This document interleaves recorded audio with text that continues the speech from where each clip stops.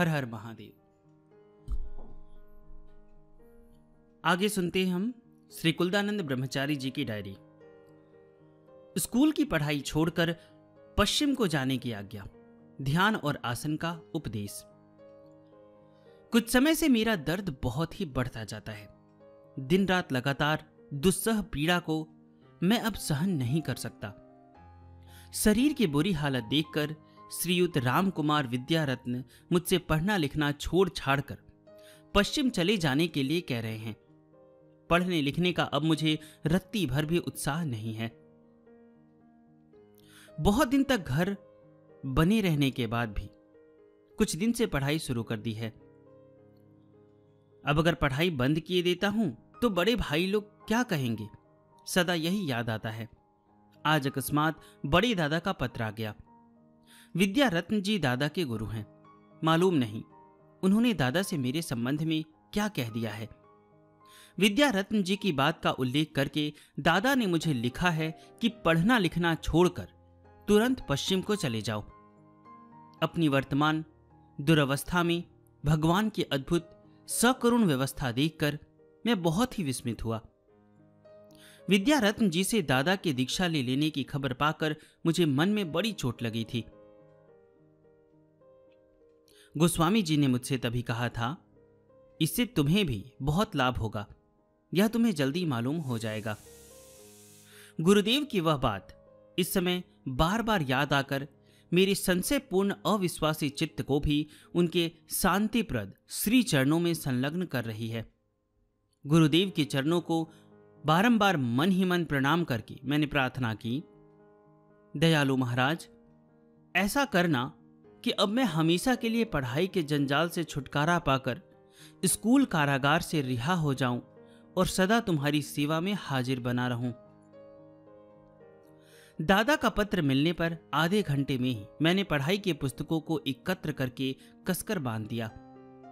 डेरे के रहने वाले सभी लोग स्कूल कॉलेज जाने के लिए तैयार होने लगे और मैं पश्चिम जाने की अनुमति मांगने को गिंडारिया में स्वामी जी के पास चला गया। रास्ते में मुझे देखकर श्यामाचरण पंडित जी ने कहा, इस समय गोस्वामी जी के दर्शन आसानी से ना होंगे। कारण पूछने पर उन्होंने कहा, आजकल वे दिन रात ही आसन घर में बंद रहते हैं। एक महीने तक पंचमुंडासन पर बैठकर वे बहुत ही कठोर साधन करेंगे। इस दरमियान बाहरी लोगों को उनके दर्शन बहुत कम मिलेंगे। शिष्यों को भी निर्दिष्ट समय पर ही दर्शन मिलेंगे। मैंने पूछा पंचमुंडासन पर गोस्वामी जी को साधन करने की अब ऐसी क्या ज़रूरत हो गई? श्रद्धेय पंडित जी ने कहा, वे परमहंस जी की आज्ञा बतलाते हैं। अब गोस्वामी जी प्राय सर्वदा समाधि में मग्न रहा करते हैं। पंचमुंडासन की सिद्धि हो जाने पर पर लोकगत पाँच महात्मा लोग गोस्वामी जी की देह की निगरानी करने के लिए हर घड़ी नियुक्त रहेंगे। उक्त आत्माएँ सारी आपत्तियों, संकटों, प्राकृतिक दुर्घटनाओं तथा दुर्दैव से देह को बचाए रहेगी। बक्सी दादा की बात सुनकर मैं दंग हो गया। गोस्वामी जी के यह अद्भुत साधन करने की बात सभी गुरु भाई नहीं जानते। गुरुदेव के जो तीन चार घनिष्ठ शिष्य गिंडारिया में रहते हैं, उन्हीं को यह हाल मालूम है। इस संबंध की साफ़ साफ़ सब बातें जानने का मुझे बड़ा कौतूहल हुआ। मैं मन ही मन गोस्वामी जी से दर्शन देने की प्रार्थना करके गिंडारिया आश्रम में पहुँचा। भजन कुटी के पास पाँच सात मिनट तक बैठते ही गोस्वामी जी भीतर से निकले। उन्होंने मुझे देखकर अपने पास बुलाकर कहा, तुम्हारा शरीर तो बहुत ही सुस्त दिख पड़ता है। अब क्या करने का इरादा है? मैंने बोला, दादा ने पश्चिम में आने के लिए लिखा है। अब क्या करूँ? गोस्वामी जी ने कहा अच्छा अभी तो तुम्हें यही करना चाहिए। अब तो परीक्षा का समय मालूम होता है। सो क्या करोगे? तंदुरुस्ती खराब रहने पर पढ़ाई करना अच्छा नहीं। मैंने बोला, जो इस बार परीक्षा में ना बैठा तो फिर कभी इस झमेले में ना पड़ूँगा। इस समय आप जो कहे वही करूँ। गोस्वामी जी ने कहा, स्कूल में पढ़कर क्या करोगे? तुम भी खूब हो। शरीर नष्ट हो जाए तो परीक्षा पास करके क्या करोगे? उद्देश्य तो विद्या को प्राप्त करना है। बस, वही हो जाना चाहिए। जितने बड़े बड़े आदमियों, मिल प्रभृति का हाल सुना जाता है, उनमें से स्कूली शिक्षा तो बहुतों को नहीं मिली। स्कूल में पढ़े बिना भी विद्या प्राप्त की जा सकती है। यही करो।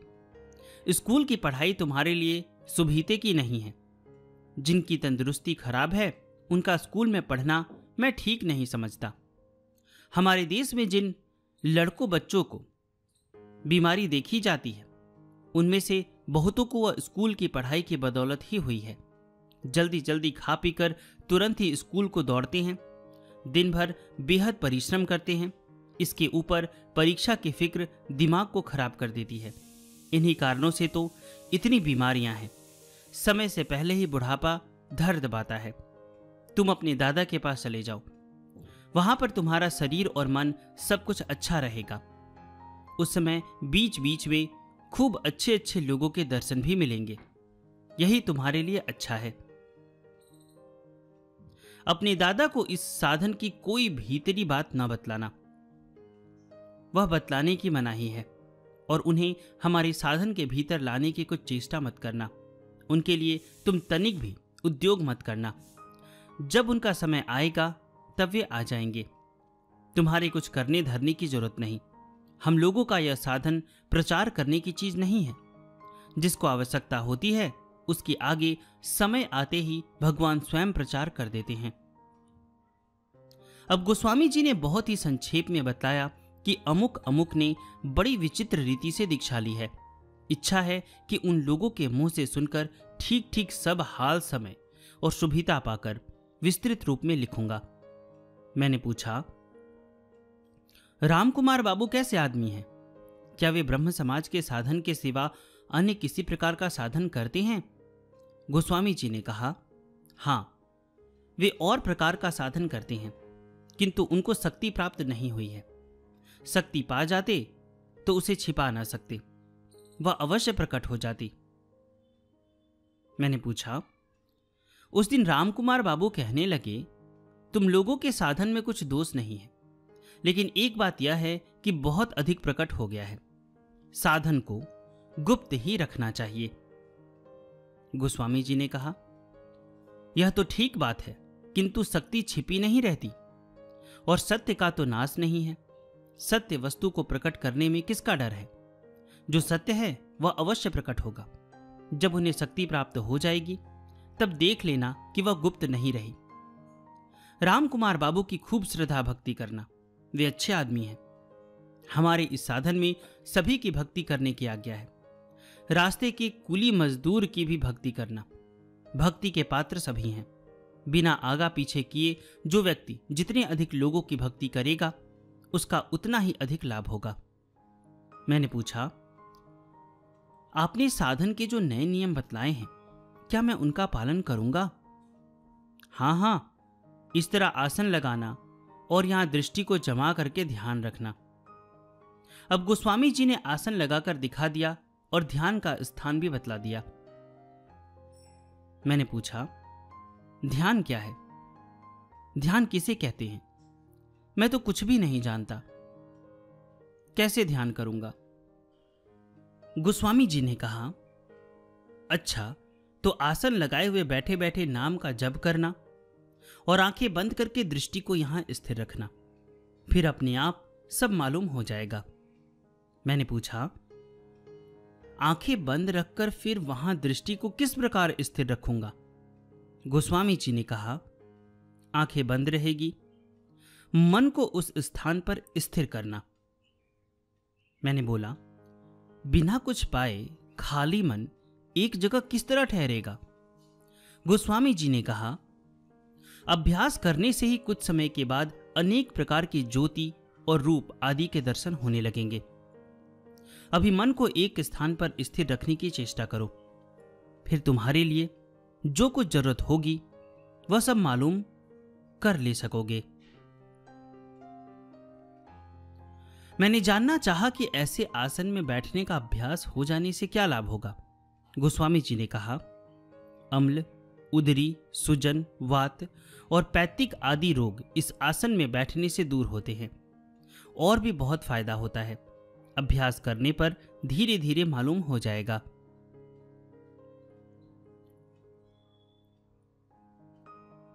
इससे पहले वाला जो ऑडियो था, उसमें बहुत सारे लोगों ने पूछा है कि गोस्वामी जी ने किस मुद्रा के बारे में बताया है। कुछ वो हाथ से शायद मुद्रा बताते हैं श्री कुलदानंद ब्रह्मचारी जी को।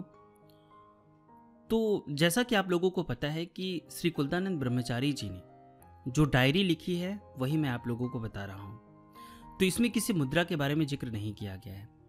और मैं समझता हूँ कि सिर्फ़ पुस्तक से पढ़कर ये करना थोड़ा मुश्किल है। अगर आपके कोई गुरु हैं, अगर आपने किन्हीं से दीक्षा ली है तो आप उनसे पूछ सकते हैं, वो आपको अच्छे से गाइड करेंगे। और अगर आपने दीक्षा नहीं ली है, कोई ऐसे गुरु नहीं है आपके पास तो सिंपली उसमें जो बताया गया है, राम नाम का जाप करना, आप राम नाम का जाप कर सकते हैं, क्योंकि ज़्यादा विशेष नियम है नहीं। तुलसीदास जी ने कुछ लिखा है, या फिर आप, आनंद रामायण पढ़ सकते हैं। आनंद रामायण में भी नाम जप के बारे में बहुत सारी बातें दी गई है, और मैंने इससे पहले वाले जो जो ऑडियो बनाया है, उसमें दो पुस्तकों के बारे में मैंने बताया है। तो आप वो दो पुस्तक देख सकते हैं। उससे आपको बहुत हेल्प मिल जाएगा।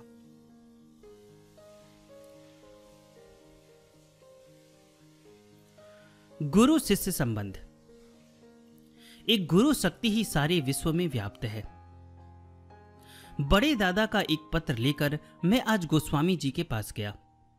आश्रम में पहुँचते ही श्रीधर और लाल प्रभृति सभी ने कहा, गोस्वामी जी बहुत बीमार हैं।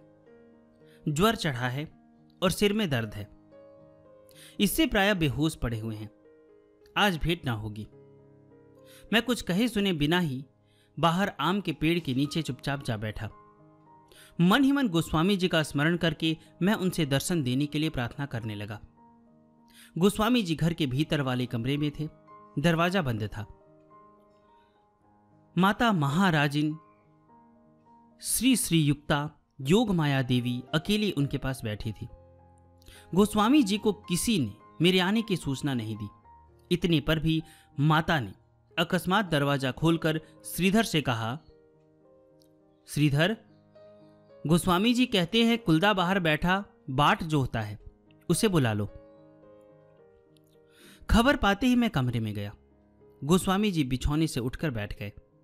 बाएँ हाथ से अपनी कनपटी दबाए रखकर उन्होंने मुझसे पूछा, किस काम से आए हो? मैंने उन्हें दादा का पत्र पढ़ सुनाया। असल बात यह लिखी है, महात्मा नागा बाबा मुझको बहुत चाहते हैं। एक दिन उन्होंने मुझे बुला भेजा। मैंने दूर से ही उनको नमस्कार करके कहा, बाबा मुझे बड़ा विश्वास रहता है। दया करके मुझे विश्वास दीजिए। नागा बाबा ने अपनी जटाओं को सामने की ओर माथे पर फैला दिया और उन्हीं के भीतर होकर मुझ पर बड़ी स्नेह दृष्टि डालकर कहा अच्छा बच्चा, अब होगा। तुम्हारा विश्वास बन गया। चले जाओ।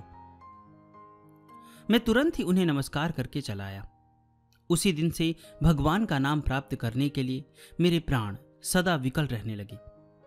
वैसे तो मैं सैकड़ों नाम जपता हूँ, किंतु सोचा कि उससे कुछ होने का नहीं। ऐसा लगने लगा कि यदि कोई आकर मुझसे पेड़ पेड़ जपने के लिए कह दे तो भगवान के उद्देश्य से उसी का जप करने से मैं कृतार्थ हो जाऊँगा। इसी समय विद्या रत्न जी ने आकर कहा, बिना ही मेरे प्रार्थना किए, मुझे नाम प्रदान किया। भगवान की इच्छा समझकर मैंने उक्त नाम ले लिया। अब नाम का जप करते समय मैं घर द्वार, स्त्री पुत्र और अपनी देह तक को भूल जाता हूँ। यह राज्य छोड़कर एक भिन्न राज्य में पहुँच जाता हूँ और आनंद में डूबकर बेहोश सा हो जाता हूँ। मालूम नहीं कि यह नाम का ही गुण है अथवा नागा बाबा जी की कृपा का फल है। पत्र को सुनकर गोस्वामी जी ने कहा, अच्छी अवस्था है। सुनकर बड़ी प्रसन्नता हुई। पिछली बार तुमने उनको कुछ अच्छी चिट्ठी नहीं लिखी। वह चिट्ठी जैसी लिखने के लिए मैंने तुमसे कहा था वैसी नहीं लिखी गई। उस समय तुम्हारे मन की जैसी हालत थी उसके लिहाज से तुम वैसा नहीं लिख सके। यह ठीक है। अब जाकर उन्हें खूब उत्साह देते हुए पत्र लिखो। वे जिस साधन को कर रहे हैं उसी को करते जाएँ, उसी से उनका भला होगा। नागा बाबा ऊँचे दर्जे के सिद्ध पुरुष हैं। उनकी दृष्टि का फल अवश्य ही मिलेगा। विश्वास की प्राप्ति होने से ही बहुत कुछ मिल गया। विश्वास बहुत दूर तक पहुँचा देता है। अंत की अवस्था में शक्ति की आवश्यकता होती है। शक्ति की आवश्यकता जान पड़ने पर दूसरे के पास जाना ही पड़ता है। किंतु वह अवस्था भी तो सहज नहीं है। गोस्वामी जी के सिर का दर्द देखकर मैं उठने को तैयार हुआ। मैं रोआ रोआ सा हो गया। मैंने कहा मेरी भीतरी हालत बहुत बुरी है। अब तक आपके पास था। क्या जाने अब किस अवस्था में कहाँ जा गिरूँगा? कोई ठिकाना नहीं कि अब क्या करूँ? मेरी बात पूरी होने से पहले ही गोस्वामी जी कहने लगे, तुम तो अभी गर्भ की संतान हो। तुमको फ़िक्र करने के लिए है ही क्या? माँ को जिस तरह गर्भ के बच्चे की हालत मालूम हो जाती है, संतान के हिलते डोलने से ही वे समझ जाती है, उसी तरह गुरु भी शिष्य की सारी अवस्था, सारी चेष्टा को हर हमेशा जान लेते हैं।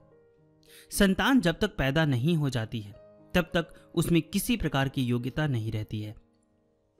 माता जो कुछ खाती पीती है, उसी का थोड़ा थोड़ा रस नाड़ी के भीतर होकर संतान के देह में पहुँचता है।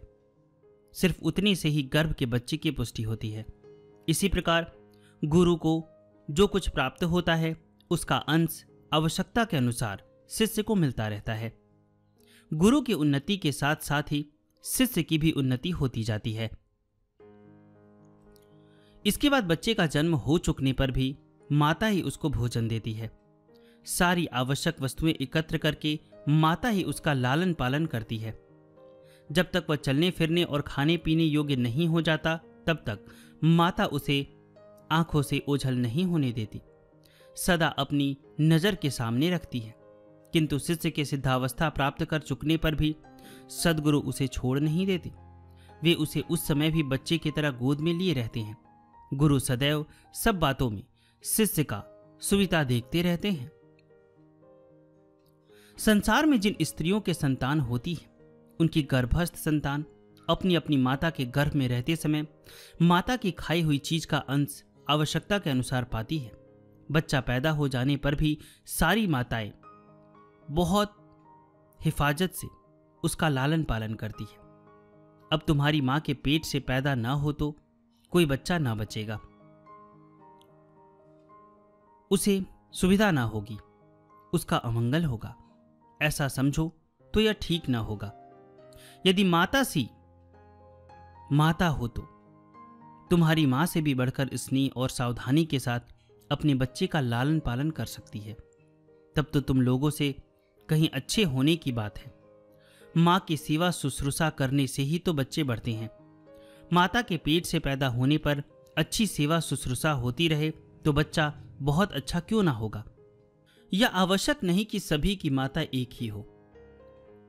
भगवान की यही इच्छा है कि भिन्न भिन्न माताओं के गर्भ से उत्पन्न होकर बच्चे सुख में, आराम में रहे। तुम फैजाबाद जाओ, बड़ा लाभ होगा।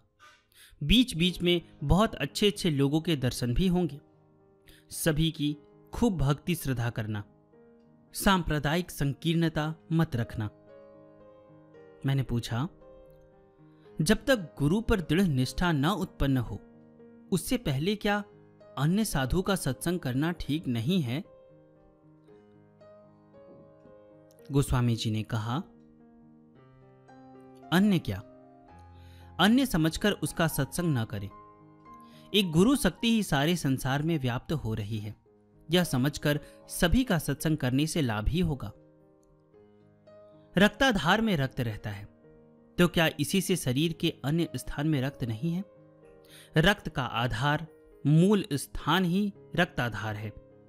वहीं से संचारित होकर रक्त सारे शरीर में व्याप्त हो रहा है। सारे शरीर में जो रक्त है वह उसी रक्ताधार का ही तो रक्त है। हाँ यह ठीक है कि यदि रक्ताधार में रक्त न हो तो शरीर में कहीं रक्त नहीं रह सकता। सारे विश्व में एक गुरु शक्ति ही व्याप्त है। संकीर्ण भाव कुछ नहीं है। संकीर्ण भाव से बड़ी हानि होती है। मैंने पूछा, गुरु में एक निष्ठता भी क्या संकीर्ण भाव नहीं है?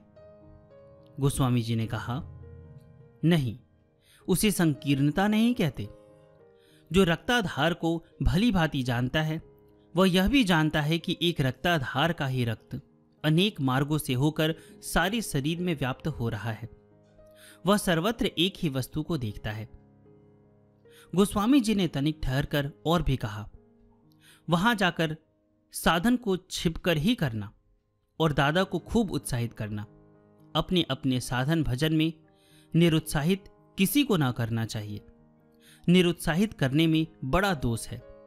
कोई किसी मार्ग पर क्यों ना चलता हो, उसे उत्साहित ही करना चाहिए। यह साधन ग्रहण करने के लिए किसी से अनुरोध मत करना। आवश्यकता होने पर भगवान ही तुम्हारे दादा को भी इसके भीतर ले आएँगे। मैंने बोला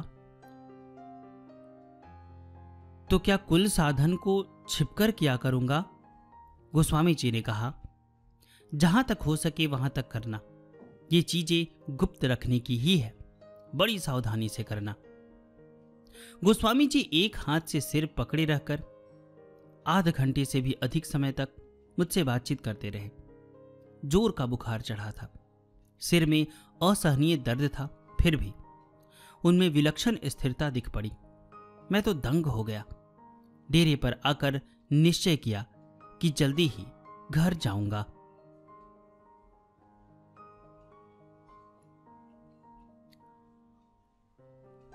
अगर आप ये ऑडियो पहली बार सुन रहे हैं तो मैं आप लोगों को बताना चाहूँगा कि श्री विजय कृष्ण गोस्वामी जी के जो गुरु थे, वो मान सरोवर के सिद्ध थे। और मान सरोवर जिसे अभी यात्रा करने हम लोग जाते हैं, वह रियल मान सरोवर नहीं है। सिद्ध उसे मान तालाब कहते हैं। मान सरोवर, वो सिद्धों का स्थान है और वहाँ तक पहुँचना, जैसा कि गोस्वामी जी ने कहा है कि कोई हठ योगी ही वहाँ तक पहुँच सकता है, क्योंकि उसका रास्ता बहुत दुर्गम है। उन्होंने ये भी बताया है कि वह जो मान सरोवर है, जब हम उसकी यात्रा करते, उसके तरफ़ जाते हैं तो बीच में एक ऐसा पर्वत मिलता है, जिस पे अगर कोई भी गलती से चढ़ जाए तो वो पत्थर बन जाएगा। तो ये सब बातें इससे पहले के जो ऑडियो बने गए हैं, इससे पहले जो 46 ऑडियो बने हैं, उसमें मैंने बताया है। तो अगर आप लोगों ने नहीं सुना तो उसे अवश्य सुनिएगा।